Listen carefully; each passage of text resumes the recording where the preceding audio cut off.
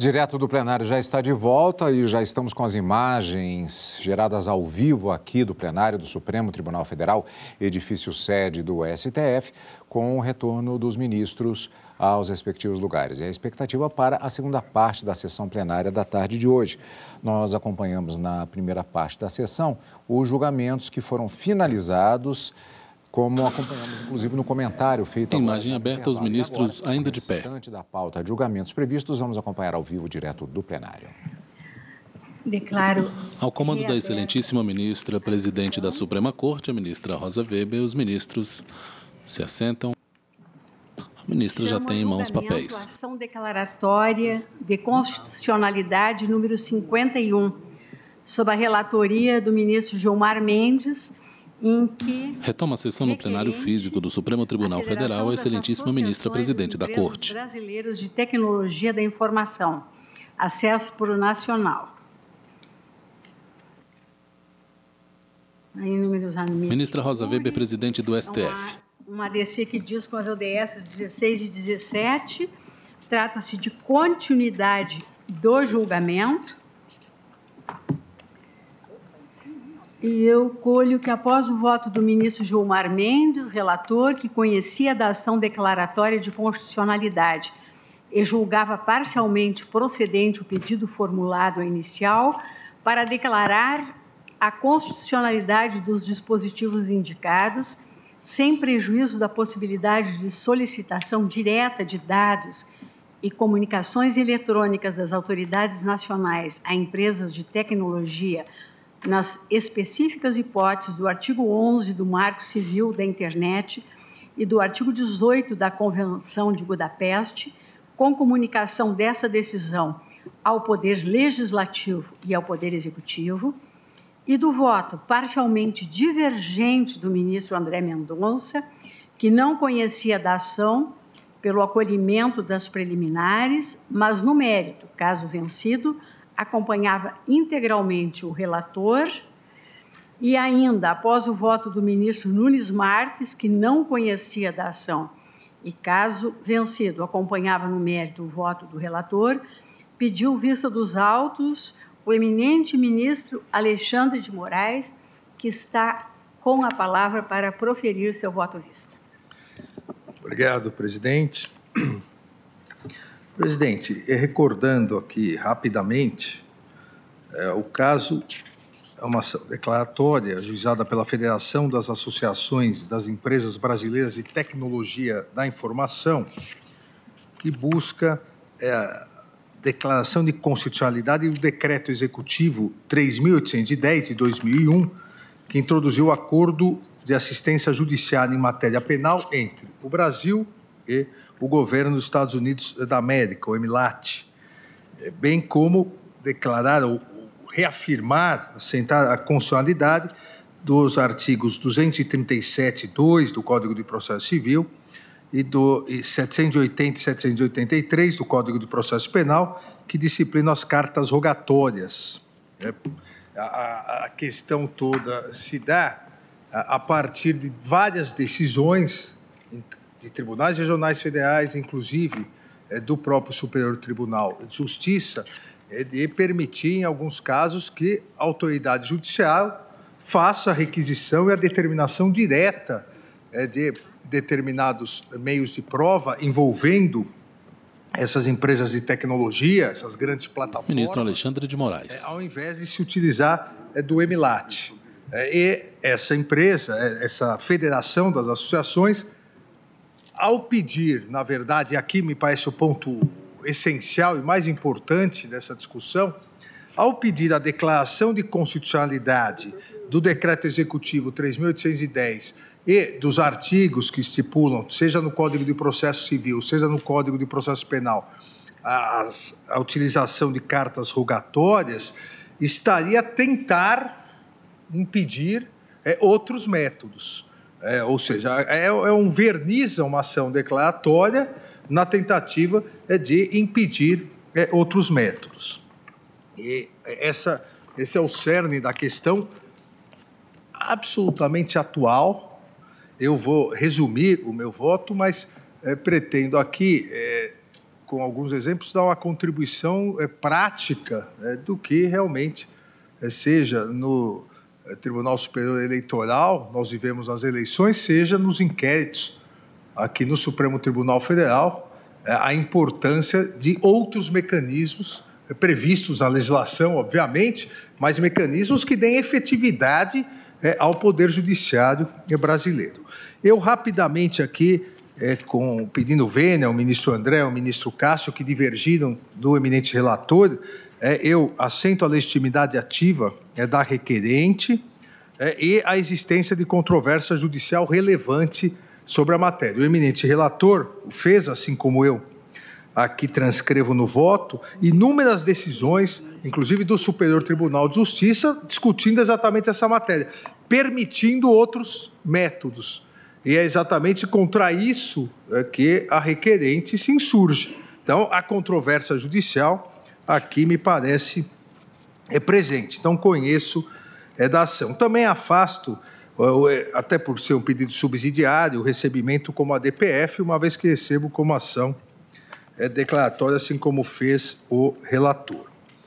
No mérito, exatamente essa questão é, de é, meios para obtenção de conteúdo de comunicações que estejam sob o controle de empresa de tecnologia. Empresas de tecnologia sediadas em território estrangeiro, mas principalmente empresas de tecnologia que têm aqui é, filiais, é, têm aqui escritório de representação, como todas, inclusive, devem ter. Nós tivemos aqui recentemente, todos é, se recordam, o caso do Telegram, é o caso do Telegram. Na pauta ADC 51, requerente acesso para o Nacional. Naquele momento, descumprimento de decisões judiciais, houve necessidade, naquele momento e depois, durante toda a eleição, é, de é, acesso a conteúdo de comunicações, bloqueio de conteúdo é, de comunicações, e que se fôssemos seguir qualquer é, possibilidade, é, qual, se fôssemos seguir somente o procedimento de cartas rogatórias, é, eu diria que nós estaríamos esperando até hoje, é, porque o Telegram começou na Rússia, todos se recordam, é, migrou para a Europa, hoje é em Dubai é, a sede, e até então não tinha representação no território nacional. É, foi necessária uma medida é, coercitiva é, de suspensão do funcionamento no território nacional, e isso é possível, é, porque é, essas plataformas funcionam por meio das antenas das operadoras, então, dentro do território nacional é possível é, bloquear é, todas as comunicações ou telecomunicações. Foi necessário isso para que o Telegram finalmente é, nomeasse aqui um escritório da advocacia, não só como advogado, mas como representante legal da empresa.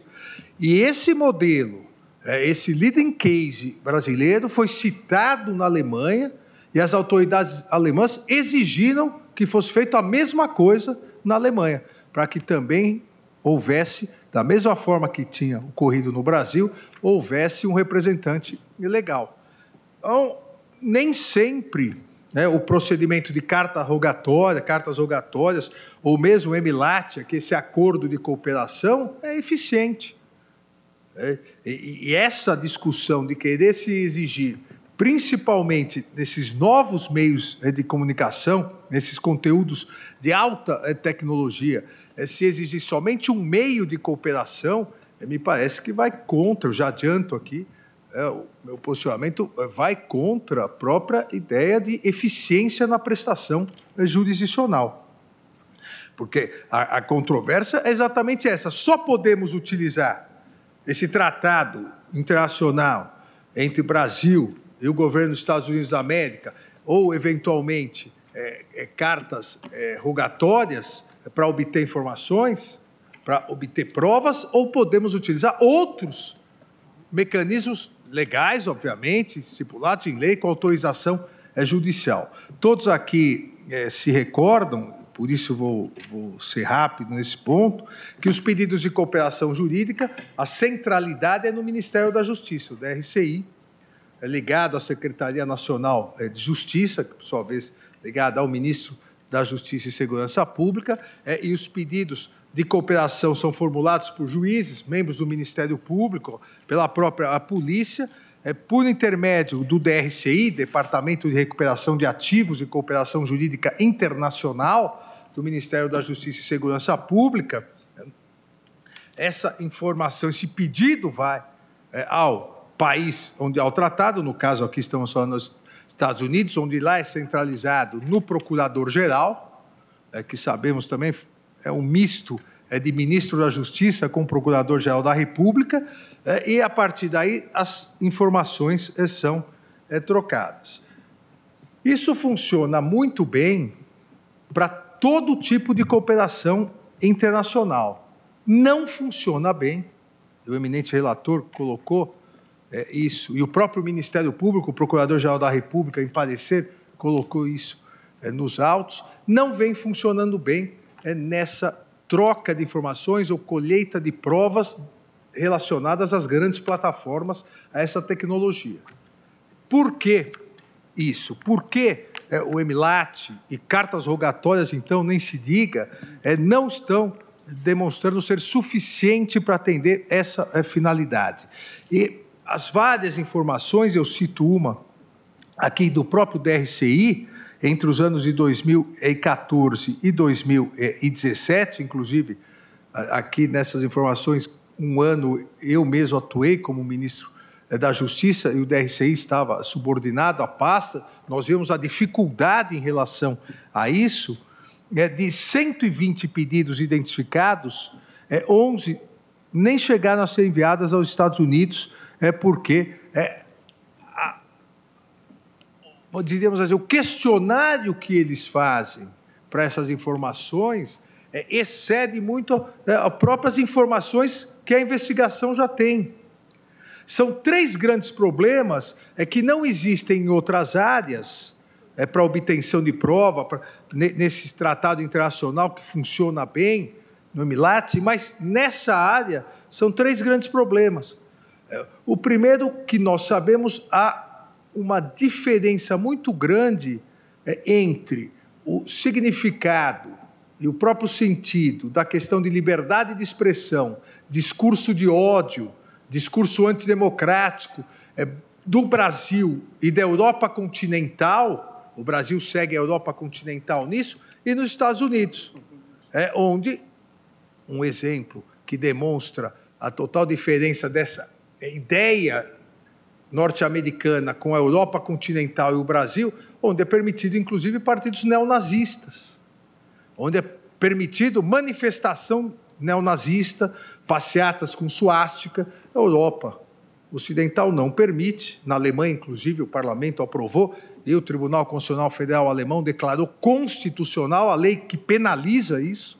E no Brasil também não é possível. Essa é diferença de interpretação nesses casos, onde a informação é uma ideia colocada nessas plataformas, vem dificultando é muito a operacionalidade desse acordo. O Brasil tentou é, um anexo é, nesse tratado internacional, mas não foi aceito pelos Estados Unidos. Isso vem dificultando nesse ramo, somente nessa área. Não, ministro, é, só para corroborar o que Vossa Excelência está afirmando, quando eu tive a oportunidade de presidir o TSE, começaram esses movimentos fake news, nós chamamos é, o departamento do FBI, que era responsável por essa área. E aí nós citamos um exemplo de que a candidata Hillary Clinton foi acusada de, de ter uma rede de pizzaria que serviu a pedofilia. E aí nós perguntamos: vocês não tiram uma notícia dessa? Isso não, não se elimina? Eles são o meu país há uma preferred position da liberdade de expressão. Não tira nada. Ficou, inclusive, só com a pergunta que fizeram aos auditórios, ele ficou muito aborrecido. No meu país é livre e não tira. Então, realmente, é como você está dizendo. A dificuldade de cultura para se conseguir. Exato. É porque eh, nos Estados Unidos o mais, às vezes, acaba se resolvendo pelo aspecto de indenização. Só que a cooperação é para provas aqui em matéria penal.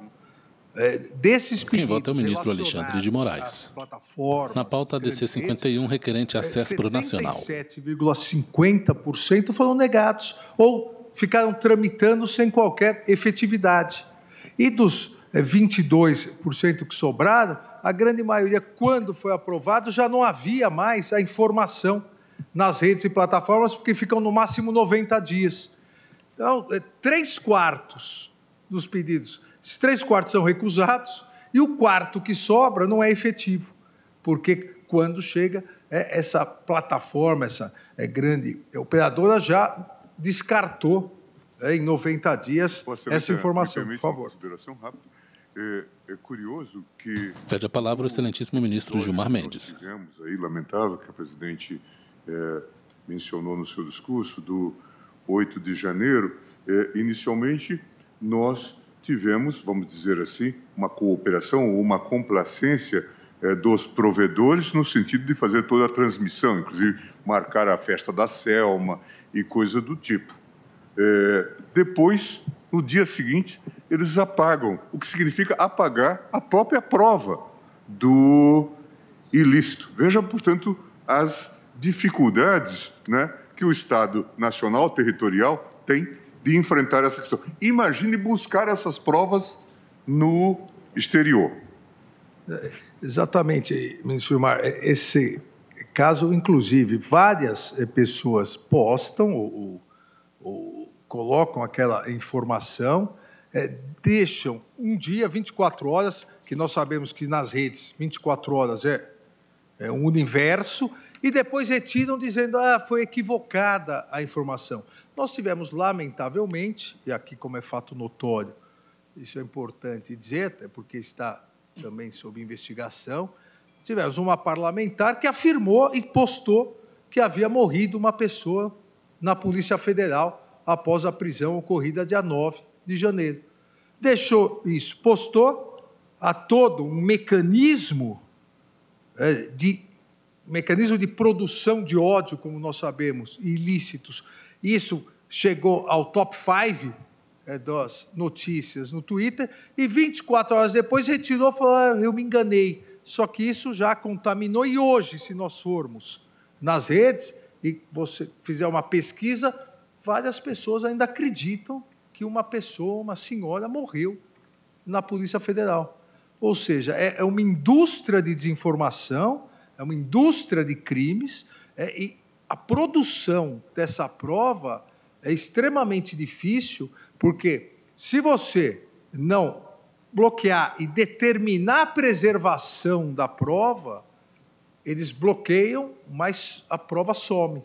Você não consegue depois fazer a produção, que foi um dos grandes problemas. O ministro, ministro Faquim eh, dividia a bancada comigo no TSE, ainda sob a presidência do ministro Luiz Roberto Barroso. Uma, um dos grandes problemas que tivemos para julgar várias ações de investigação judicial eleitoral, porque em 2018 as pessoas não sabiam ainda como funcionava isso e não pediam, pediam só o bloqueio, eh, não pediam a preservação da prova é, e não pedindo, não obtinham. Se nós não obtiveram, se nós só passarmos a permitir aplicação, inclusive para esses dados telemáticos, é, somente por carta rogatória ou no EMILAT, é, o prazo para análise e deferimento daquele um quarto só de cada né, cada quatro pedidos, né, um só atendido, o prazo vem sendo de 13 meses as respostas. 13 meses, é, nunca mais vai se encontrar é, qualquer uma dessas mensagens e a partir daí não se consegue fazer o caminho e se chegar, é, como todos pretendemos quando essa investigação é feita, chegar aos produtores, é, aos é, financiadores, é toda uma produção diferente eh, das provas normais, diferente de quando se usa o MLAT para conseguir uma quebra de sigilo bancário. É, os dados estão no banco. É diferente para obter a troca de um documento ou compartilhamento né, de processos. É, aqui não. Aqui a celeridade é muito grande e a possibilidade de simplesmente ocorrer um sumiço total das provas é maior ainda. Esse baixo índice de efetividade, esse baixo índice de efetividade não é propriamente culpa do Emilat, até porque quando lá atrás foi assinado, não existia isso.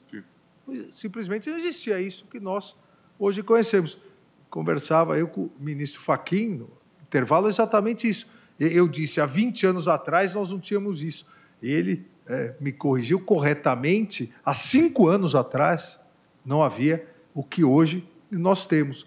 Então, também o Poder Judiciário, também a Justiça como um todo, tem que se aparelhar e tem que saber responder rapidamente a essa prática é, de ilícitos, é, para que é, nós não possamos continuar vendo o absurdo que ocorre e as provas se esvaindo. A própria Procuradoria-Geral da República trouxe um estudo interessantíssimo feito pelo Grupo de Apoio ao Enfrentamento dos Crimes Cibernéticos da Segunda Câmara de Coordenação e Revisão do Ministério Público Federal, analisando essa situação.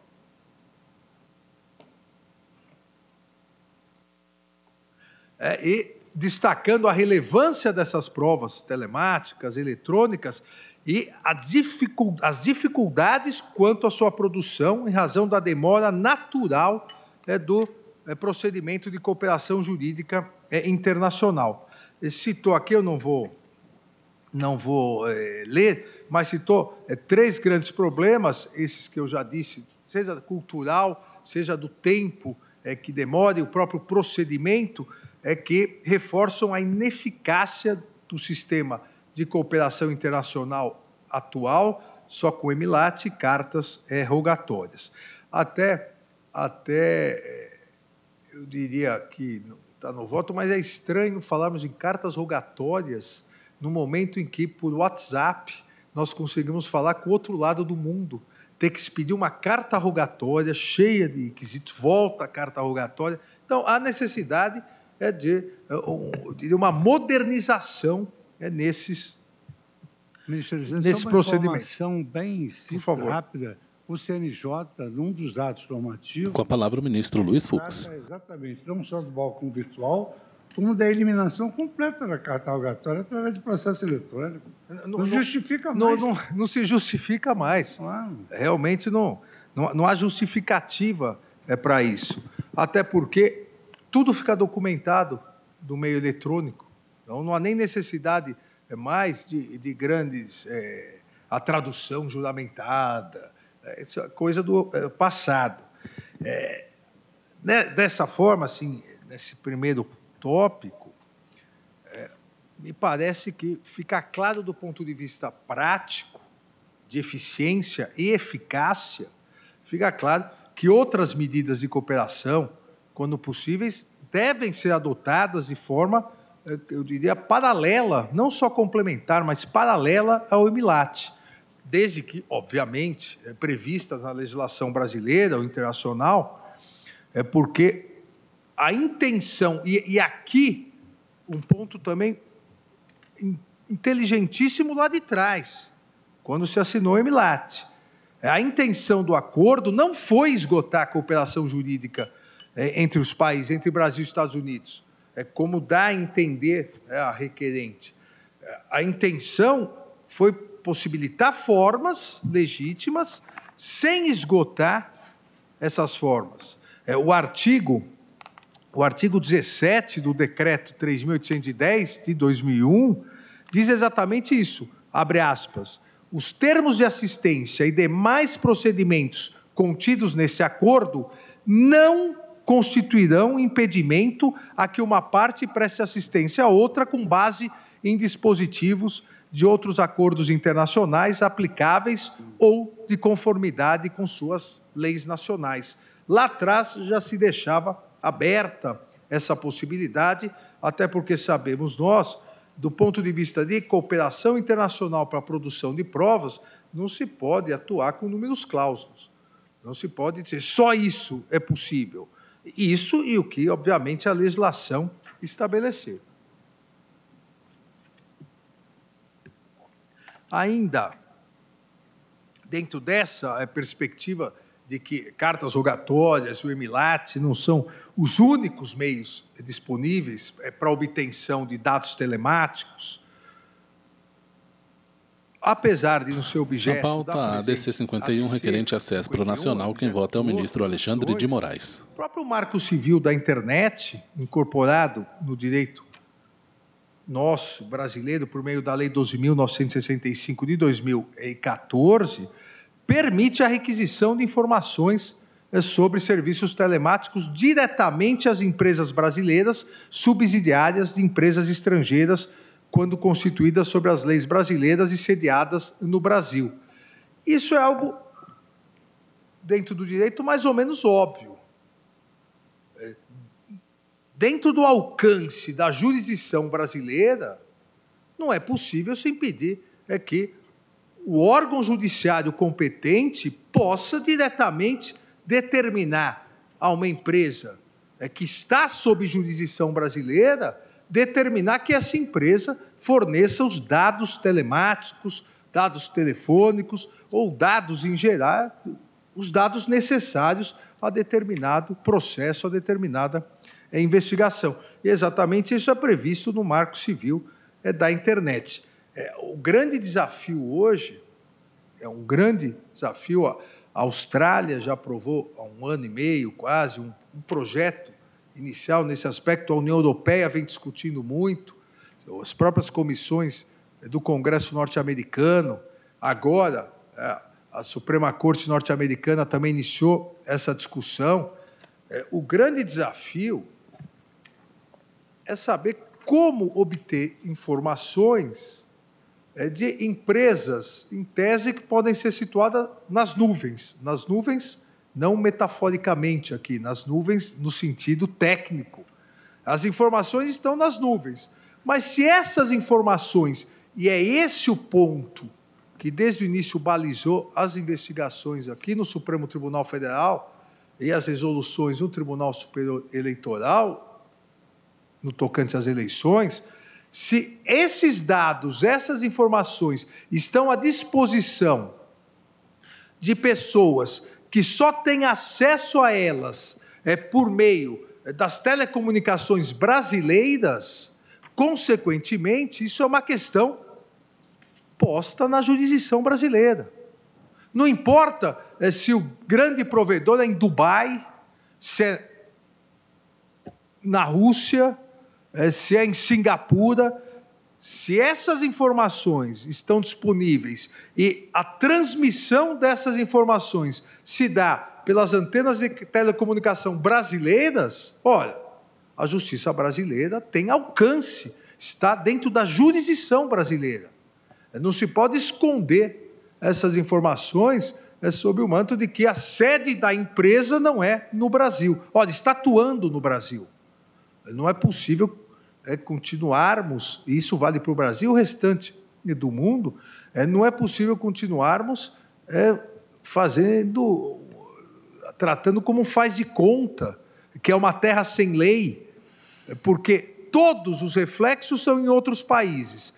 O país onde é a sede não tem esses reflexos, então não pode é, investigar, não pode punir, é, não pode analisar, e os demais países não poderiam também esse momento dessas grandes plataformas me parece que já passou. As próprias plataformas, as próprias empresas grandes, as big techs, né, as grandes empresas de tecnologia, parece que já entenderam a necessidade, elas mesmas, de sentarem à mesa com as autoridades para praticarem um tipo né, de autorregulação e autocooperação entre elas e cooperação com as autoridades judiciárias. Em algumas reuniões que tive, semana que vem, novamente estarei com as plataformas, com essas grandes empresas. Uma das é, perguntas no, na cooperação com elas, uma das perguntas que eu fiz foi a seguinte: se elas permitiam pedofilia nas redes, vídeos de pedofilia ou notícias de pedofilia. Elas disseram não. Eu falei, há muita tentativa de se postar, de colocar vídeos. Falam que por dia milhares de tentativas.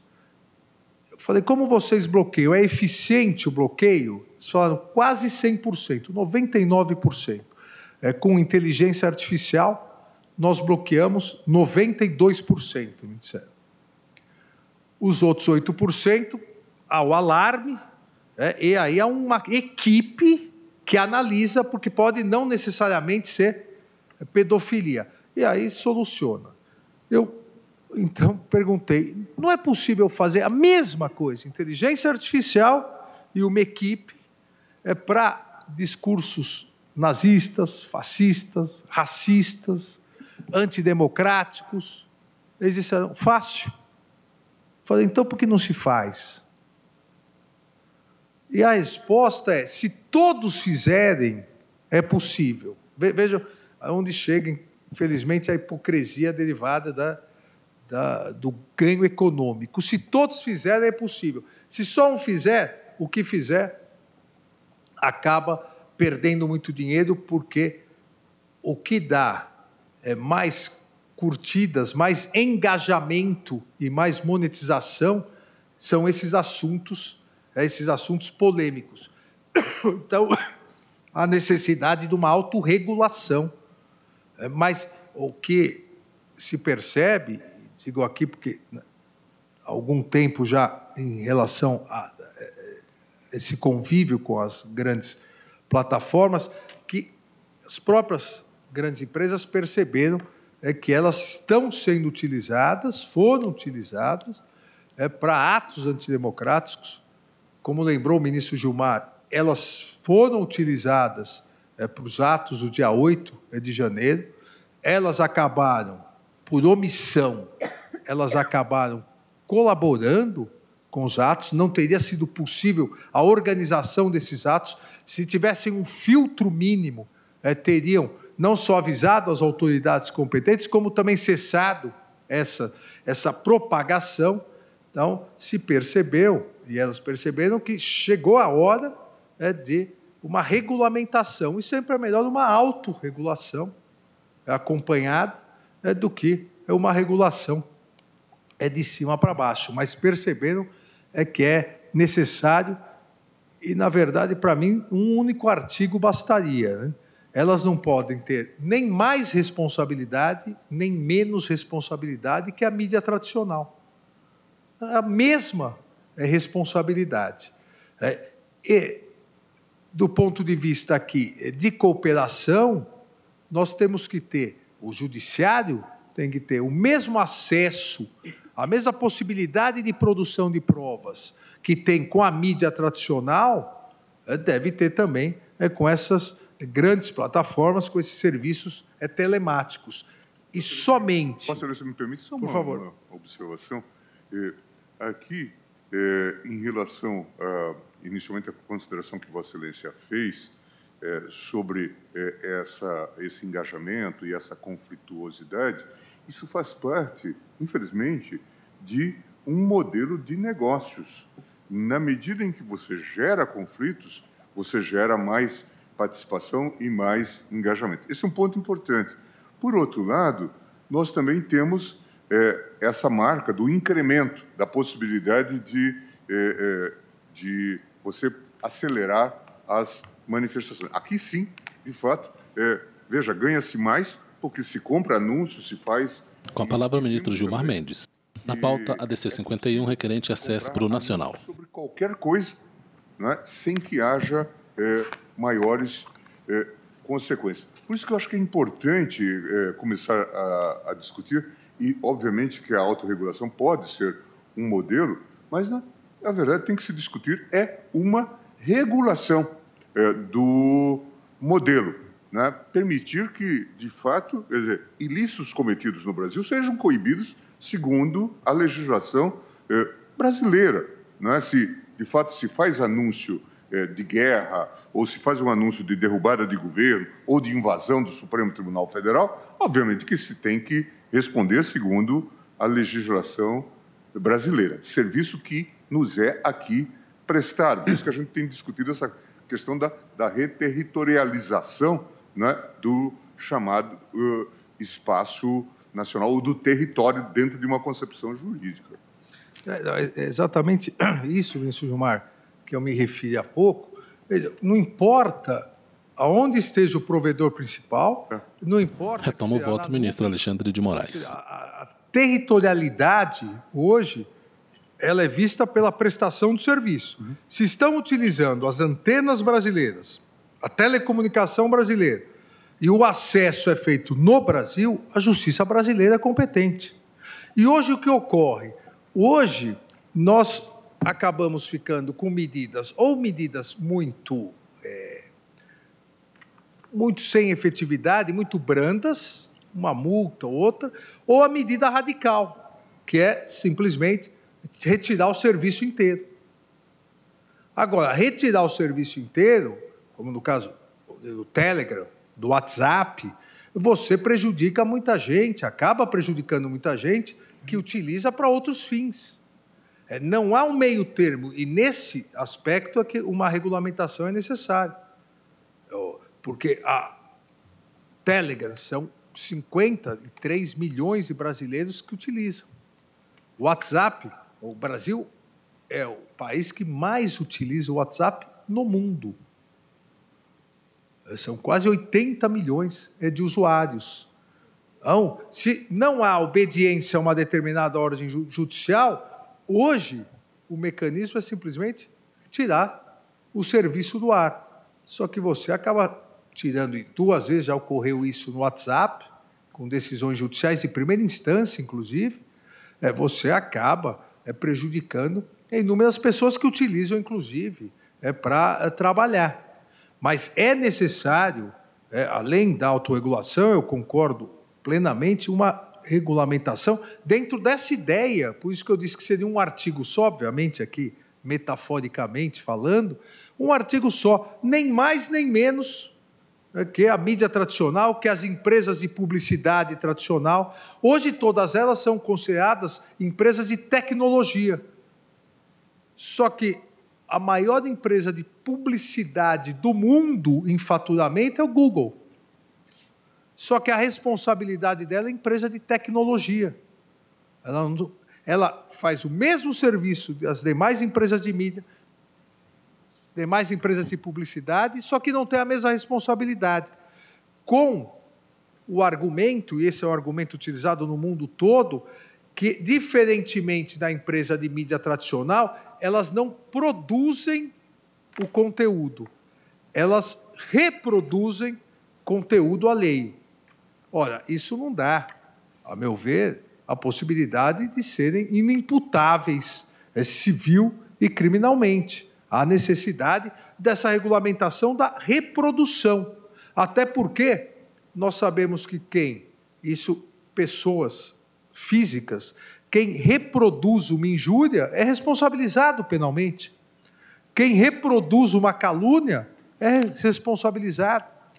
Então, o, o sistema até agora não fecha é na responsabilização dessas é, grandes é, plataformas, essas grandes empresas é, de tecnologia. Da mesma forma, é, se nós utilizarmos só cartas rogatórias, só MLAT, é, também o sistema não fecha. Nós vamos estar é, de forma é, ineficiente. Ministro Alexandre, só para fazer justiça a um grande colega, um grande gaúcho, que foi o ministro Gilson Dipp, é, a Corte Especial do Superior Tribunal de Justiça. Toma a palavra o ministro Luiz Fux. Há de se lembrar com um caso de um empresário russo que tinha interferência no futebol paulista. E naquela oportunidade. Lamentavelmente no Corinthians. Foi a pior época do Corinthians 2005. Eu não falei, eu não quis dar 2005 a 2007. Eu não quis dar nenhum votos porque eu sou tricolor, então eu não tenho. Estava bem abrigado lá. É. Pois bem, e aí o Ministério Público é, de Alhures entregou um pendrive para o Ministério Público do Brasil. E aquilo ali denominou-se, na época que ainda não havia regulação, de auxílio direto. Porque você, você não está falando só de responsabilidade, está falando de colher provas. Aqui, coleta de colher provas, prova. exatamente. Então, nós, influenciados naquela época, nós fizemos inserir no artigo 30 do CPC, da Cooperação Jurídica Internacional, o seguinte dispositivo: além dos casos previstos em tratados de que o Brasil faz parte, o auxílio direto terá os seguintes objetos: dois, colheita de provas. Então, nós eh, fizemos encartar a possibilidade desse auxílio direto, que vem exatamente ao encontro dessa belíssima digressão que o Conselheiro está fazendo sobre, digamos assim, o sistema, não só na busca de prova, mas também da responsabilização. Porque, como Vossa Excelência disse, isso viraliza em segundos, depois some e não, se tem mais. E, como... sem obtenção da prova, nunca ocorrerá responsabilização. É, a empresa estabelece. A, a primeira premissa básica, e isso a legislação deve estabelecer, é que haja, haja uma empresa no Brasil, haja representação dessa empresa no Brasil.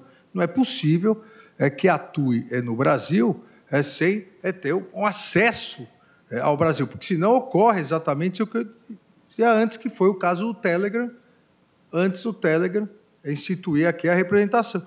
Só tinha uma medida, retirar totalmente. É, você consegue retirar no território nacional, bloqueia o território nacional, mas é a medida drástica. Então, a empresa deve ser estabelecida, e enquanto estabelecida, é mesmo integrante de um grupo econômico, é, cuja matriz seja seja sediada no exterior, deve sempre estar sujeita à legislação brasileira, à jurisdição brasileira, desde que qualquer ato, um dos atos, ocorra em território nacional. É o que dizia o ministro Gilmar, eu disse, a, a territorialidade aqui num outro aspecto. A territorialidade é, não importa de onde vem a informação, mas a troca de informações está ocorrendo no Brasil. Ah, o Telegram é em Dubai. Só que quando uma pessoa passa, é, ou um grupo, na, na, nas, nas eleições, nas eleições foram centenas de grupos o Telegram, suspenso, centenas de grupos, com milhares de pessoas, porque o Telegram permite, é porque estavam divulgando discurso de ódio, é, discursos fascistas. E essas pessoas divulgavam aonde isso?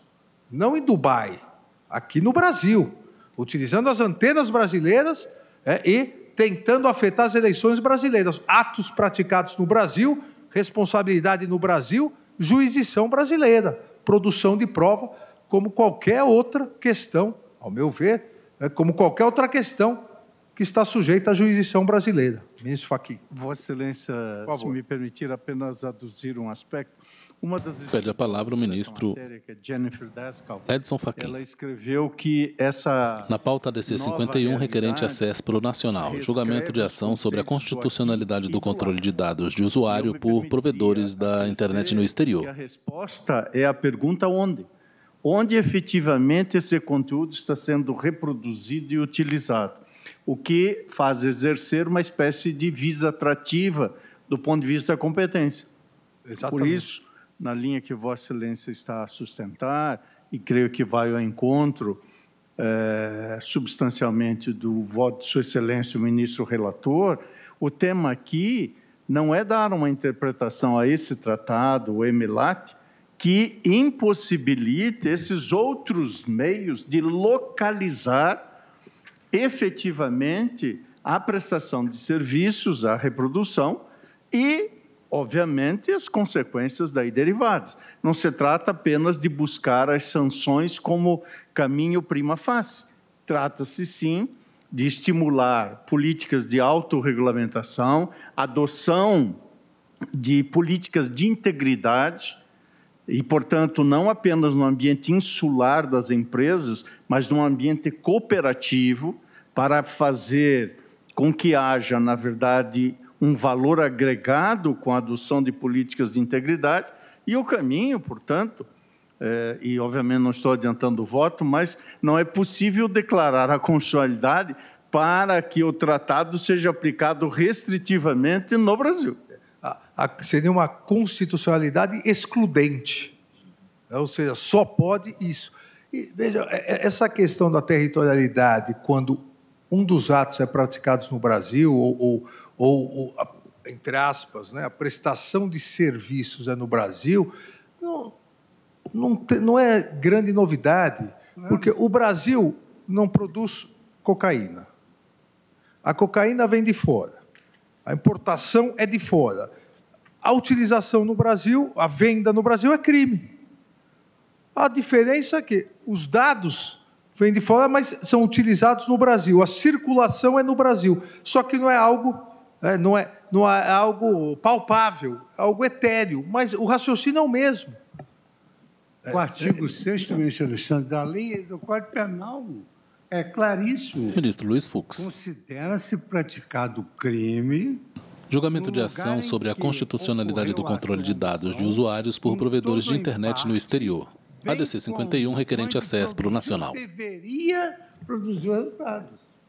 Encaixados aqui do lado. Ministro Alexandre, não deixa de ser uma droga que traz alterações mentais nas pessoas. Né? Ministro Dias Toffoli. Eu, eu, eu diria que o, o, o, não só o futuro, mas é, em breve nós vamos perceber que talvez seja uma das mais perigosas drogas, é, porque traz alterações é, na coletividade. Basta ver o que vimos é, no dia 8 de janeiro, as pessoas possuídas é, por informações ou desinformações, é, por, como sempre nos ensina corretamente a ministra Carmen Lúcia, por mentiras, não fake news, por mentiras é, mentiras sórdidas, é, crimes, é, e, como disse o ministro é uma droga, uma substância que entorpece a mente das pessoas. Cria uma realidade paralela, né, ministro? Ministra Rosa Weber, presidente do STF. Vivessem numa realidade paralela estão convictas né, de. E, e, e presidente, uma, uma, realidade paralela, eu diria, é, uma realidade paralela que não se comunica e não permite comunicação com a realidade. Ou seja, é uma vedação total. A, a pessoa entra naquela droga, entra na realidade paralela, repete, mesmo que todos os fatos sejam contrários àquela realidade, pouco importa. Então, é realmente isso, isso já vem sendo estudado né, por psicólogos, psiquiatras, porque mostra que pessoas que isoladamente eh, são pessoas que nunca eh, tiveram uma postura agressiva, uma postura eh, criminosa, quando entraram nesses grupos, simplesmente se transformaram. É o efeito manada, né, que todos nós conhecemos, é, para outros aspectos, só que aqui potencializado pelo número é, de pessoas é, que frequentam as redes sociais. Ministro, só uma, Só uma desculpa. Ladies first. Eu quero igualdade, não quero preferência. não, apenas uma observação, ministro Alexandre, na sequência do que Vossa Excelência está a afirmar e do que foi agora notado pelo ministro Faquim. Talvez muito mais breve do que a gente imagina, e eu estou dizendo brevidade. Em imagem aberta entre o ministro Luiz Fux e o ministro Gilmar Mendes, que é, quem fala é a ministra Carmen nós Lúcia. Nós temos que superar algo que foi a base do que nós construímos no direito, que é essa ideia de território com terra, e não território no sentido do terror. Eu excluo outras, a ideia de soberania não vem de terra, vem de território no sentido de terror, de excluir de um determinado espaço outras pessoas. E sobre exatamente a partir daqui é que se construiu uma ideia de Estado soberano territorialmente, num território demarcado geograficamente e, portanto, a soberania se exercia ali. É, dizer, nós não temos nenhuma dúvida que há um, aspas, território, no sentido de excluir outros, são hoje cinco que dividem o mundo, comandam o mundo, como Vossa Excelência acaba de afirmar essas empresas, ou para uma delas, pode retirar isso aqui, desde que todas façam. Ou seja, a ideia de poder que está no nosso estudo de teoria do Estado, né, do segundo ano de direito, povo, território e poder, o povo não está mais circunscrito a um lugar, porque o nomadismo, em grande parte, é de nós todos. O, o, território não é demarcado geograficamente pelos mapas, porque alguém na nuvem e pergunte a um, uma pessoa, qualquer um de nós, onde está a nuvem? Qual, por que essa ideia de nuvem? E ela não saberá explicar, ela só sabe que ela está sujeita a uma circunstância que pode mudar a sua vida, o seu pensamento, o seu comportamento, junto com os outros, e nós praticando, portanto, um direito que é um direito vinculado a uma ideia de território terra e não de território poder, que estava na base da formação da própria teoria do Estado. Então, eu acho que o que Vossa Excelência está a afirmar é esta ideia geográfica não é respeitada por serviços que são mundiais. Até porque aqui é uma incoerência. Nós falamos em mundialização, globalização. A, vem para cá uma informação, transita não se sabe de onde, chega não se sabe de onde, muda a vida, a minha vida, pratica-se um crime, mas a jurisdição não é nossa porque não veio daqui. A fonte. E onde estava essa fonte? Quem comanda essa fonte? Qual o direito? Ou nós temos agora, voltamos às, ao tempo das diligências imaginárias virtuais com efeitos concretos que é um, um, um faroeste digital para acabar com o Estado de Direito construído sobre esses conceitos. Então, eu acho que a ideia de território que nós aproveitamos e viemos nos dois últimos séculos, acatando e praticando como se fosse pedaço de terra e sobre ela exercendo uma ideia de poder soberano segundo o direito, haverá de muito brevemente ser substituída para a ideia de um território que é terror no sentido de excluir outras soberanias porque ela não cabe mais aqui para fazer face às respostas que o direito precisa dar, que a jurisdição precisa de se afirmar e até mesmo o conceito de competência, ministro Fachin.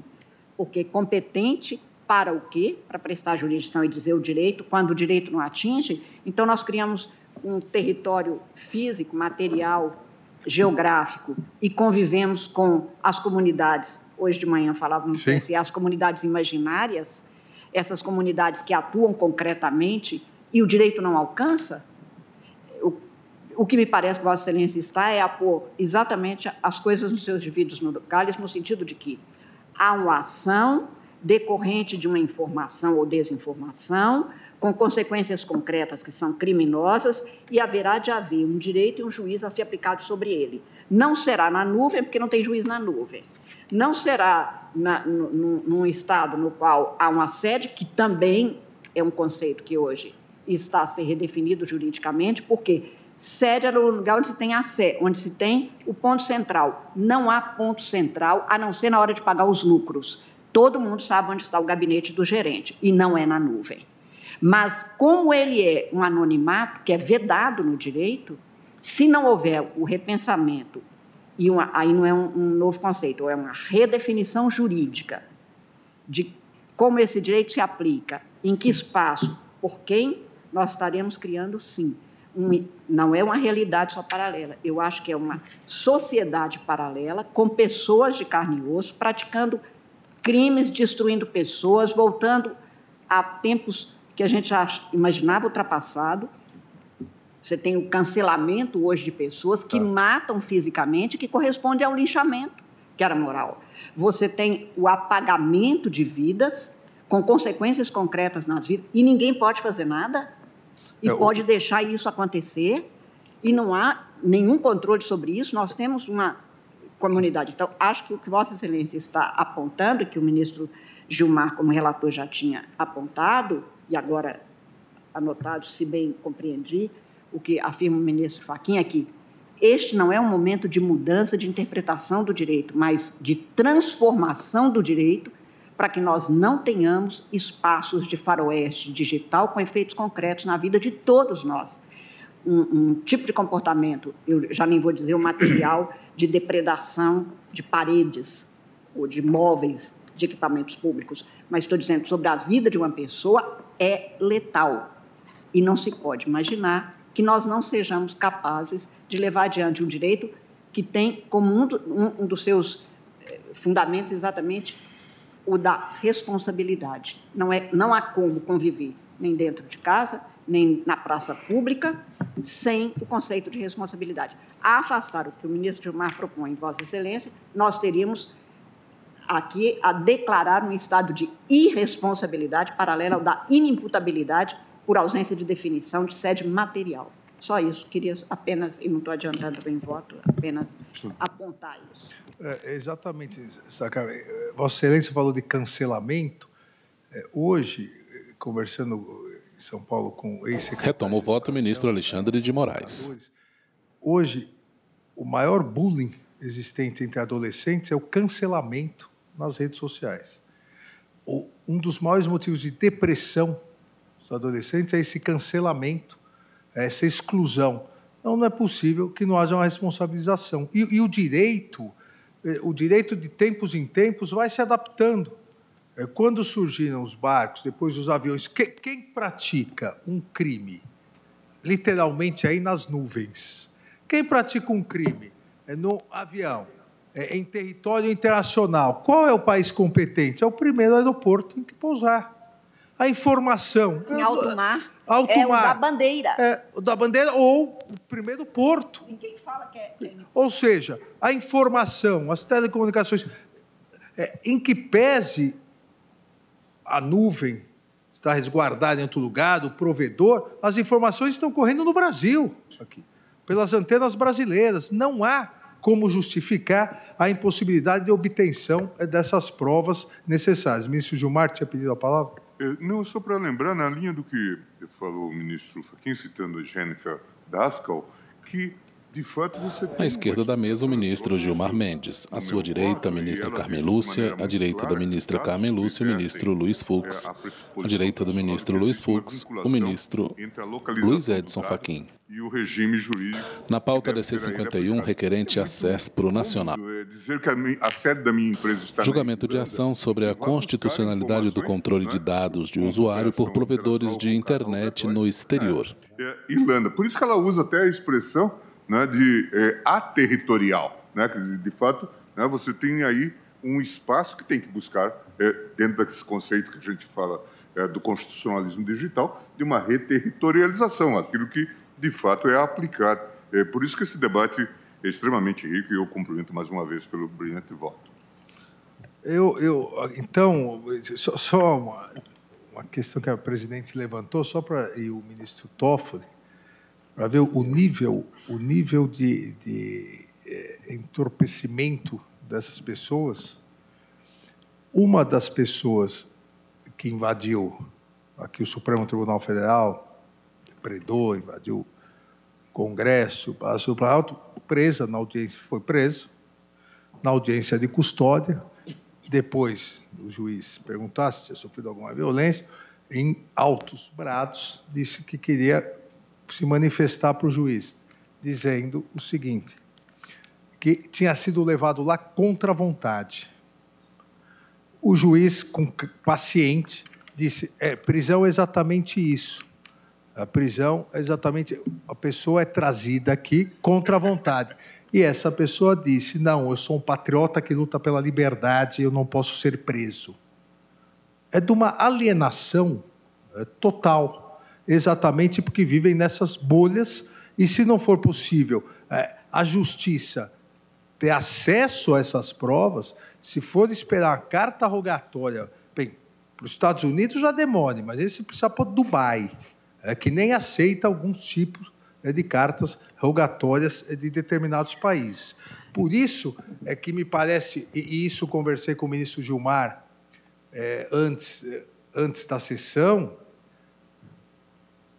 ministro Gilmar, só isso conversei com Vossa antes da sessão, me parece que aqui, exatamente para evitar aquela declaração de constitucionalidade excludente, é, é, aqui é importante nós deixarmos bem claro é, que não só é possível MILAT, não só é possível cartas rogatórias, mas o próprio Marco Civil é, da internet também deve servir de base para justificar a obrigação, atendimento de todas as requisições feitas dentro da legislação do Marco Civil da Internet, dentro é, do que o direito brasileiro permite, todas as é, requisições e determinações é, de autoridades brasileiras, para se evitar exatamente é, uma é, declaração de constitucionalidade excludente, que foi o que se pretendia aqui a requerente. Presidente favor. Ministro Alexandre de Moraes, Vossa Excelência permite, o ministro Lewandowski, é que Vossa Excelência não vê,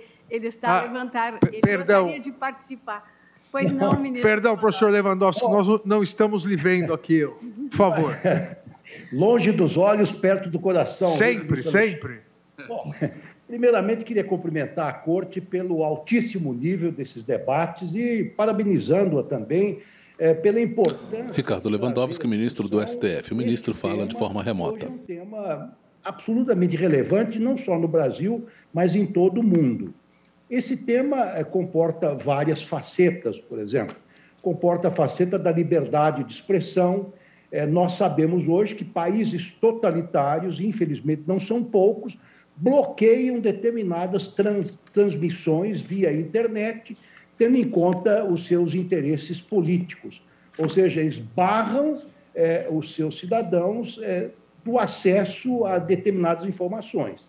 Lê-se nos jornais, por exemplo, que alguns, e aí não vai crítica, eu faço isso com muito respeito, que alguns cidadãos da Federação Russa não sabem que está ocorrendo a guerra na Ucrânia, não é? é existe uma série de eufemismos que o governo é, é, é, divulga, segundo a imprensa, estou apenas reproduzindo, não estou fazendo juízo de valor, referindo-se a este conflito bélico e, portanto, é, é uma espécie de censura é, que alguns estados, não estou indigitando nenhum estado em particular, exercem sobre essa questão das informações que transitam na internet. Dito isto, é, para realçar a delicadeza dessa questão, no que concerne, ah, enfim, aos próprios valores democráticos, eu quero dizer que comungo em gênero, número e grau tudo aquilo que foi dito pelos colegas que me antecederam. Cumprimento o ministro Gilmar Mendes, cumprimento agora o ministro Alexandre Moraes, pelo denso voto que trazem. Eu quero fazer uma rapidíssima intervenção, senhor presidente. Sei que Vossa Excelência quer concluir pelo menos o voto do ministro Alexandre de Moraes nesta sentada, que é, é, acho que é importante que se dê mais um passo é, nesta direção. Mas a ministra Carmen Lúcia tocou num assunto que me é muito caro, que é a questão da soberania. Não é a soberania num primeiro momento, e o que é a soberania? Soberania simplesmente delimita o âmbito de incidência das normas é, de um determinado Estado, do poder do Estado. E essa questão remonta a 1648, com o Tratado de Paz de Westfália, quando se decidiu que o poder do Estado ou as normas jurídicas emitidas pelo Estado, elas têm eficácia dentro de um determinado território, território físico balizado pelas fronteiras. Mas essa questão foi pouco a pouco sendo superada. É, me lembro, faço referência ao advento do conceito do mar territorial. O mar territorial também é uma questão, é um, é um território, digamos assim, é, é, prenhe de abstrações, não é? Porque que, o que é o mar territorial?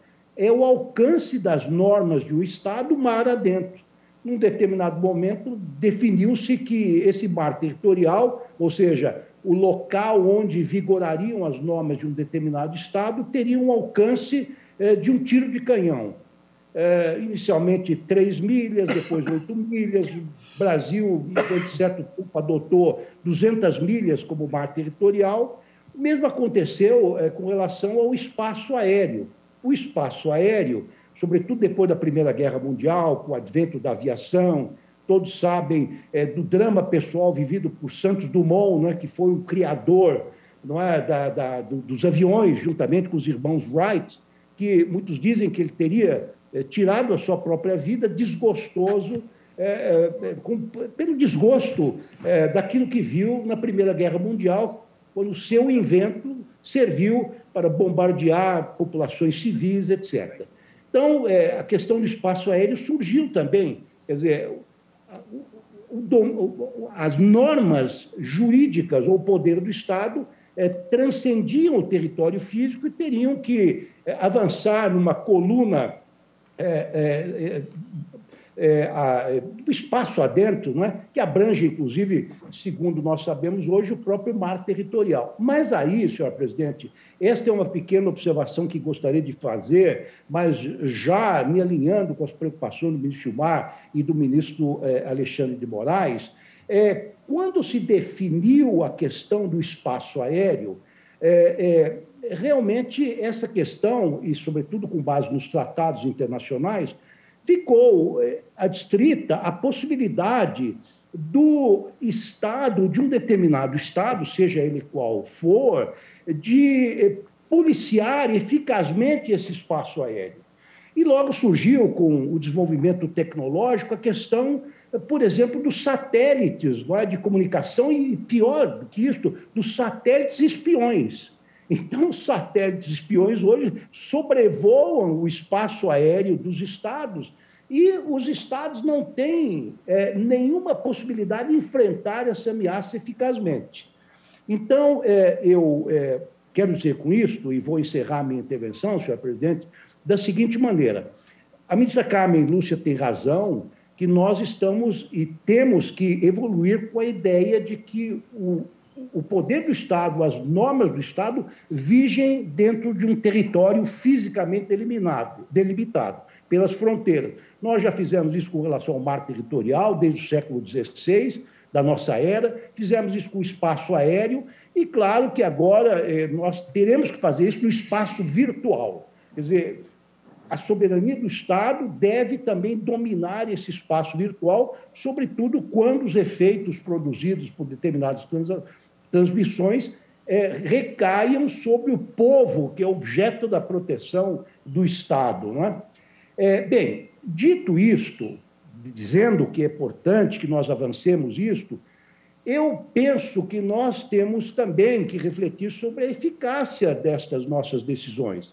Quer dizer, é, até que ponto é, é, nós conseguimos é, dar efetividade a uma decisão judicial? Será que basta, e agora indago ao ministro Alexandre Moraes, já concordando com ele, que é importante, é preciso que todas essas plataformas tenham representantes no país, mas talvez isso não baste. Uma pessoa física, no caso aí do Telegram, como foi citado, um escritório de advocacia representa os interesses dessa plataforma.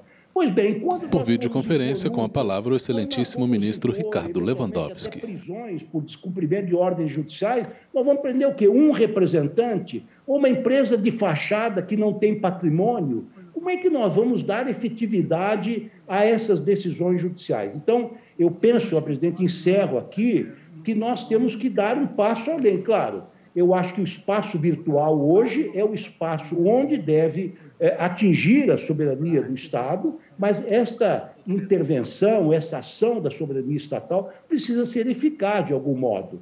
E esta é a preocupação que manifesto de forma mais ampla, até em termos teóricos, e lanço apenas como, enfim, como um adminículo. Na pauta DC 51, requerente CESP, a CESPRO Nacional. Concordo com as conclusões dos votos de ambos eh, os ministros que se manifestaram hoje. Obrigado, senhor presidente.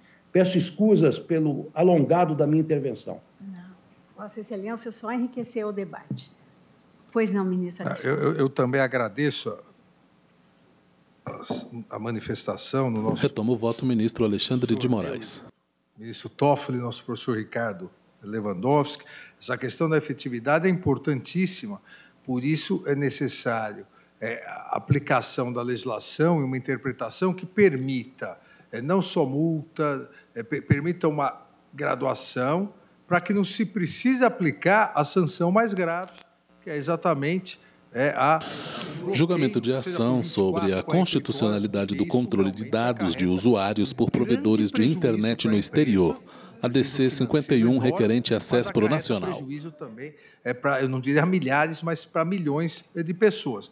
E aqui sendo é, justo, é, após essa definição é, do, do representante civil do Telegram, todas as decisões judiciais, absolutamente todas as decisões judiciais, tanto aqui por parte do Supremo Tribunal Federal quanto é, do Tribunal Superior Eleitoral, foram cumpridas. Em uma delas, que, ao invés de cumprir, é, deveria ter cumprido e depois recorrido, não cumpriu por dias, foi aplicada a multa de 1 milhão e 200 mil reais e imediatamente o Telegram depositou e agora recorreu, ou seja, se submetendo à legislação brasileira como é, desde o início deveria é, todos é, se submeterem. Então, aqui, presidente, eu vou tentar encurtar pela, pela hora, mas, mas a culpa não é minha, presidente. Foram várias manifestações, eu vou marcando aqui o tempo que eu tenho a mais. Eu tenho uma, Decotar, né? Para É. descontar. eu tenho uma ampulheta aqui, É, é, tranquilo. eu, tenho, eu tenho ainda mais umas duas horas e meia. Eu, Fique eu, tranquilo. eu nem quis dizer que depois daquele trágico evento no Corinthians com a Rússia, nós extirpamos é, os russos do Corinthians, né? E depois ainda fomos campeões mais duas vezes do Brasileiro e uma do Mundial em 2012, que o Palmeiras não tem, infelizmente, ministro Toffoli. Ô, aqui, presidente, o que me parece extremamente importante é que não só Emilate, não só carta rogatória, mas a legislação que disciplinou agora o Marco Civil da Internet, como eu disse, não só pode, como deve também servir de base legal para justificar a obrigação dos atendimentos e requisições eh, imediatas. é? Seria aqui uma interpretação sistemática, e nesse sentido que conversei com o ministro Gilmar anteriormente, eh, nesse sentido, uma- a declaração aqui também, eu brinquei com o ministro Gilmar por arrastamento, a declaração de constitucionalidade dessa interpretação sistemática é que o artigo 11 do- da Lei 12.965 é, permite também é, essa atuação é, direta. É o caso, e isso o DRCI expôs, é, o grupo já citado da Procuradoria-Geral da República também expôs, é o caso, por exemplo, do Facebook é, onde grupos econômicos compartilham dados é, coletados, oferecem serviços no mundo todo, mas em português é, também, é, e é possível a solicitação direta, não há necessidade é, de um acordo é, com o Emilat para os Estados Unidos para ter informação. As informações devem ser dadas diretamente aqui. Seria um, um contrassenso é, aguardar é, uma resposta de outro país se as informações necessárias à justiça brasileira estão facilmente de acesso à justiça brasileira, são necessárias à justiça brasileira e as informações foram produzidas aqui utilizando todo o sistema é, de telecomunicações é, brasileiros. Isso, presidente, já ocorre na Austrália, como eu disse anteriormente, na Espanha, Canadá permitem requisições diretas, é, Dinamarca, França e Reino Unido também já têm dispositivos que permitem essa requisição quando os dados estão sob o controle da empresa local, ou seja, não é, não é uma, não seria uma jabuticaba é, brasileira. Isso todos os países começaram a perceber a necessidade de terem acesso para acabar com essa terra sem lei que durante muitos anos é, foi, é, foram essas as plataformas e essas essas informações nas nuvens, né? ou em, em computadores, é, em paraísos, não mais paraísos fiscais, é paraísos é, de informação, é, foram sendo criados em alguns locais é, do mundo. Nesse sentido, é, a, foi citado pelo ministro Gilmar Mendes, a Convenção de Budapeste, é, ela vem é, nesse sentido de regulamentar isso. É, o- é Decreto Legislativo 37 de 2021, né, a carta de adesão depositada pelo Brasil, eh, deixa claro que a legislação brasileira reconheceu a aplicabilidade do Marco Civil da Internet, eh, desde que, e aqui, de novo, a ideia mais ampla de uma nova territorialidade, desde que as empresas ofereçam serviço ao público brasileiro. É isso que estão fazendo. E, e, é, nesse caso é mais, oferecem um serviço ao público brasileiro se utilizando de todo o sistema de telecomunicações nacional. Sem o sistema de telecomunicações nacional, sem as antenas de transmissão, não existe esse serviço. Então, elas devem é, estar sob a total jurisdição brasileira, mesmo, mesmo que as atividades sejam realizadas por pessoa jurídica sediada é, no exterior. É, aqui me parece que não há dúvida, e esse é o caminho trilhado, que vem sendo trilhado pelo é, mundo todo, é, exatamente para coibir excessos, é, para possibilitar uma instrução probatória rápida e eficaz, como a própria internet é. As informações são rápidas e eficazes. Nó- Nós tínhamos, para mostrar como é possível e é rápido, e essa adaptação é possível, nós tínhamos até às vésperas da eleição, determinações judiciais eleitorais para se retirar propagandas antecipadas ou propagandas abusivas, ah, todas as plataformas cumpriram em 48 horas. 48 horas é uma eternidade nas redes sociais. e no mundo político. Então, véspera de eleição, é, passaram a cumprir duas horas e, as, e nas 48 horas antes do primeiro e segundo turnos, em uma hora. O que falavam que era impossível, é, fixamos em duas horas, o TSE, resolução aprovada é, por nós, a ministra Carmen, o ministro Ricardo Lewandowski, é, duas horas, daí passamos para uma hora, 48 horas antes.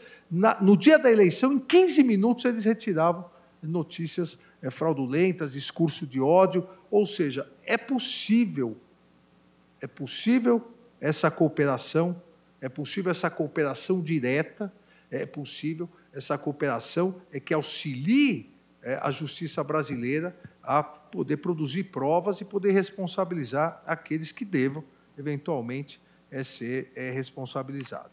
Então, presidente, para não me é, alongar muito, é, o, o, aqui nós não devemos afastar, obviamente, o Emilat. O Emilat continua, né, esse acordo internacional continua produzindo grandes resultados, não tão eficientes nessa área, mas também podem ser complementares, podem andar paralelamente. Mesma coisa das cartas rogatórias. Agora, o regramento e o procedimento previstos no Marco Civil da Internet devem ser acoplados a essa possibilidade.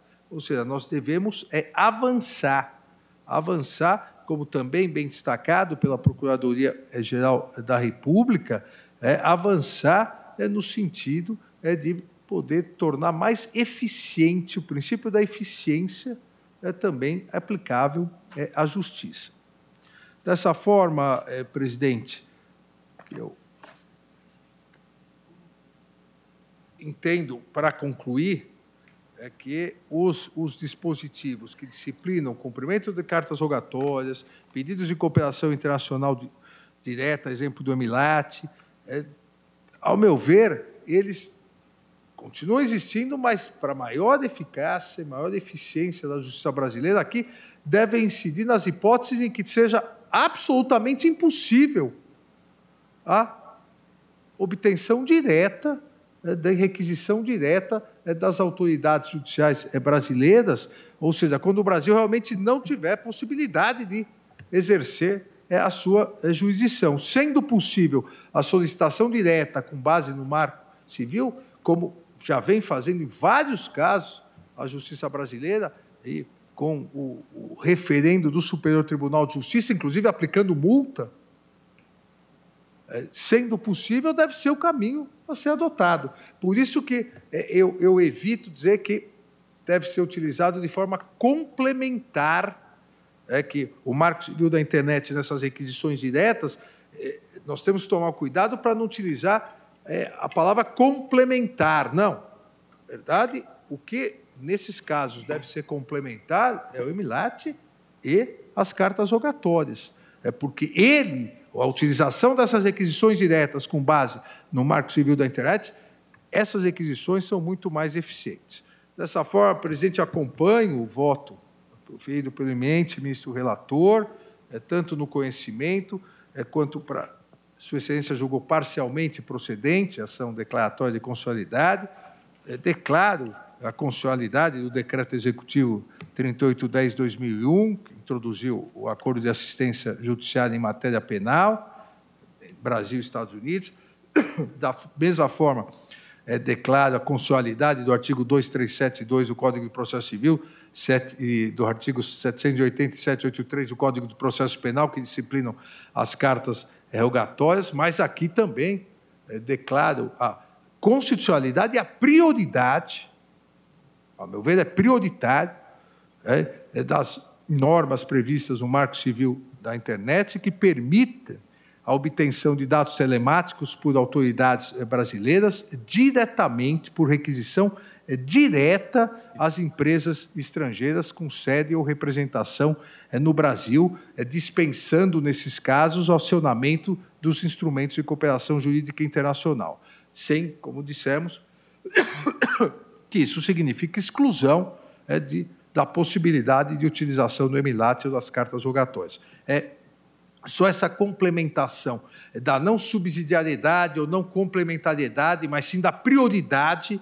nesses casos do Marco Civil da Internet e da sua constitucionalidade para obtenção dessas provas. É isso só que eu gostaria de ressaltar mais, sem, obviamente, divergir do eminente relator. Muito obrigada, ministro Alexandre de Moraes. Eu sei que nós estamos né? Eh, já passamos das 18 horas, mas eu observo que os quatro votos que foram proferidos até agora, no mérito, são absolutamente eh, conformes, porque ministro André e ministro Nunes Marques divergiram no conhecimento. Aí eu consulto os eminentes pares se têm votos muito longos a proferir, se gostariam que eu designasse uma nova data ou se poderíamos. Eu, por exemplo, tenho um voto escrito longo acompanhando também o relator. Né? Então, diante de todos esses debates, não teria dificuldade. Eu digo porque o ministro Gilmar não estará, infelizmente, conosco nos próximos uh, dia 1 e 2. Né? E, então, Presidente, nós, o meu voto suspender... é bastante breve. Oral. Sim. O voto escrito é longo. Então, Mas, se Vossa Excelência, os eminentes... Só queria Sim. dizer, presidente, só para efeito de, de, de, concordar com a proposta do eminente ministro Alexandre, que eu, eu tinha trazido inicialmente o voto, só para efeito de é, da parte dispositiva, é, que eu estava conhecendo a DC e votava para julgar parcialmente procedente o pedido formulado, a inicial, para declarar a constitucionalidade dos dispositivos indicados, sem prejuízo da possibilidade de solicitação direta de dados e comunicações eletrônicas das autoridades nacionais a empresas de tecnologia nas específicas hipóteses do artigo 11, na linha do que falou o ministro Alexandre agora, e do artigo 18 da Convenção de Budapeste, ou seja, nos casos de atividades de coleta e tratamento de dados no país, de posse ou controle de dados por empresa com representação no Brasil e de crimes cometidos por indivíduos localizados em território nacional. E tinha um adendo sobre recomendação legislativa para é, aprovar a Lei Geral de Proteção de Dados para fins penais. Mas é, agora, é, diante inclusive da consideração que o ministro Alexandre faz, eu realmente reputo relevante, e considerando a nossa capacidade de é, polemizar, né, como temos visto, né, os casos se eternizam, né, de também avançarmos para é, declararmos a constitucionalidade, que eu fazia implicitamente, né, de declararmos a constitucionalidade das providências constantes do artigo 11, na linha do, do, do voto que já tinha proferido. Do 11, é, do, 11 do artigo 11 do Marco Civil da Internet, na linha do que Portanto, estou incorporando essa consideração. Ministro. Desculpe, ministro Faquinha, a senhora... Ministro Ao contrário, a, a, intervenção do eminente ministro relator é, acabou comatando o único ponto que eu imaginava que aqui deveria ser suscitado quanto a essa expressa declaração de constitucionalidade que o voto vista trouxe à colação.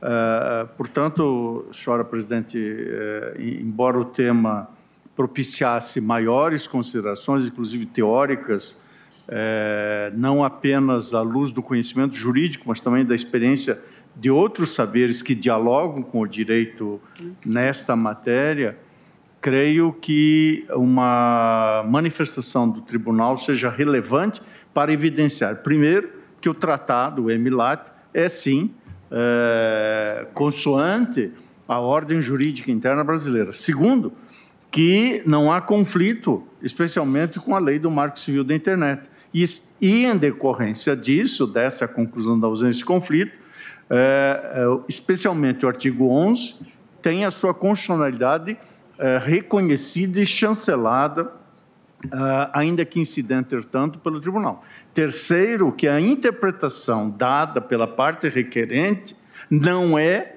dessa extensão que o tribunal está a reconhecer, ao contrário o tribunal julga parcialmente procedente nos termos do voto, agora explicitado por Sua Excelência o relator, julga parcialmente procedente para dar este sentido de constitucionalidade do artigo 11 do Civil da Internet e do reconhecimento, até mesmo em caráter prioritário ou preferencial, da via direta e expressa para a coleta de provas. Com essa singela explicitação, juntarei o voto escrito, cumprimentando os votos que me antecederam, especialmente Sua Excelência o relator e Sua Excelência o ministro Vistório. Muito obrigada, ministro Luiz Roberto. uh, ministro Luiz Edson Fachin. Ministro Luiz Roberto Barroso, inclusive, declarou suspeição nesse processo. Não está presente agora, mas também não participaria. Ministro Fux. Senhora Presidente, a Igreja Corte, os debates que antecederam a minha manifestação e os votos que já foram aqui é, anexados, e principalmente agora as digressões tão claras e profundas do ministro Alexandre de Moraes, me convenceram de que eu não tenho mais nada a acrescentar. Não sobrou pedra sobre pedra em relação a esse tema e eu acompanho integralmente o relator com as achegas do ministro Alexandre de Moraes, do ministro Fachin, da ministra Carmen, de todos que aqui intervieram. Obrigada, ministro Fux. Ministro Toffoli. Senhora presidente, também cumprimento os votos proferidos. O debate é uma tarde realmente grandiosa. É, profundos debates a partir do voto do relator, dos votos proferidos, e agora a partir do voto do ministro Alexandre de Moraes, permitindo essa interação de todos os colegas, e a decisão de Vossa Excelência de concluir o julgamento hoje também é muito importante. Meu voto sempre é muito singelo quando eu estou de acordo com os colegas. Eu peço vênia aos ministros, aos ministros André Mendonça e Nunes Marques para conhecer da ação, tal qual fez o eminente relator e os demais colegas, e, no mérito, acompanhar Sua Excelência com os acréscimos agora realizados a partir do voto vista e dos debates que ocorreram no plenário. É como voto, senhora presidente. Obrigada, ministro Dias Toffoli. Ministra Carmen Lúcia. Também eu, senhora presidente, cumprimentando o ministro relator, o ministro Alexandre, que traz um voto também vertical sobre a matéria, tenho escrito sobre a matéria, voto escrito, e estou votando no sentido, com as vênias do não conhecimento dos votos dos ministros André Mendonça e Cássio Nunes Marques, eu estou conhecendo e votando exatamente no sentido da parcial procedência nos termos do voto do relator. Obrigada, ministra Carmen Lúcia. Ministro Lewandowski, como vota Vossa Excelência? É, senhor presidente, é, reiterando meus cumprimentos a todos e reafirmando que estou é, vivamente impressionado, como não poderia deixar de ser, pela, pela profundidade dos debates é, que foram travados é, nesta sentada, na sentada anterior. Eu quero dizer que acompanho integralmente o relator, com os acréscimos agora feitos pelo ministro Alexandre de Moraes. Peço vênia naquele aspecto que diz respeito ao conhecimento ao ministro é, é, Nunes Marques e ao ministro André Mendonça. E quero dizer, para finalizar, senhor presidente, que nós fizemos hoje nada mais foi do que reafirmar o princípio da universalidade da jurisdição, adequando aos tempos é, contemporâneos, aos tempos pelos quais passamos. Né? Esse princípio importante está plasmado no artigo 5 inciso 35 da nossa Carta Magna. Como voto, senhor presidente?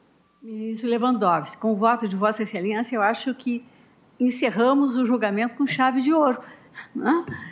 afirmando o princípio da universalidade. Eu peço escusas por ter, de certa maneira, provocado que o encerramento, mas entendo que o tema é de muitíssima relevância. Nós temos algumas ações que eu espero que possamos enfrentar em breve. Temos uma ministro Toffoli, Marco Civil da Internet, uma minha, também artigo 19, uma sobre a minha relatoria, também sobre o Marco Civil da Internet, uma do ministro Fachin sobre o WhatsApp, né? que nós inclusive fizemos uma audiência pública conjunta, né? São temas que estão aí e que, com a velocidade desse nosso avanço tecnológico, cada vez mais exigem que nós as enfrentemos. Eu proclamo, então, o resultado, reiterando o que acabei de dizer, que tem um voto e trago escrito, vou juntá-lo aos autos, acompanhando o voto do relator e agora, inclusive com, essa, com esse reforço na linha trazida de prioridade, pelo, pelo ministro Vistor. Cumprimento o ministro Gilmar Mendes pelo voto, enfim, por todos os votos proferidos, e peço vênia ao ministro André, também ao ministro Nunes Marques, conhe para conhecer da ação e proclamo o resultado. Por maioria, o tribunal conheceu da ação, vencidos o ministro André Mendonça e o ministro Nunes Marques, e no mérito, por unanimidade de votos, julgou-a parcialmente procedente nos termos do voto do ministro relator, com o adendo eh, efetuado nesta data. Agradeço a todos. Desejo... Presidente, antes de encerrar, gostaria de agradecer a Vossa Excelência por eh, essa eh, gestão magnífica do processo eh, e que permitiu que nós eh, terminássemos processos que aparentemente estavam se eternizando. O caso do, do, da. Do amianto, né? e agora eh, este caso que é extremamente eh, relevante, inclusive nesse contexto histórico. E eu tinha até falado com o ministro Toffoli sobre também o artigo 18 eh, do, do, marco, do artigo 19 do Marco é, Civil da, da internet, da internet né? todo esse de, debate que é, é relevante para que a gente vá dando baliza para trabalhos que estão sendo realizados, inclusive, no âmbito do Congresso Nacional, é, o projeto de lei da fake news, o ministro Alexandre está dialogando também é, com o, os relatores, que tem grande dimensão é, nesse é, contexto. Eu acho que logramos terminar, é, acho que até com alguma surpresa, dois processos. Reitero o excelentíssimo ministro Gilmar Mendes. Este da, do, do amianto já se eternizava é, no nosso contexto histórico, mas também cumprimentar a Vossa Excelência é, pela, pelo pronunciamento que fez hoje e que já foi ressaltado pelos todos os colegas como é, marcadamente histórico na defesa é, das instituições, da democracia é, e da institucionalidade no país. Muito obrigado. Declaro encerrada a sessão, desejando uma ótima noite a todos e agradecendo a presença. Encerra a sessão ao centro.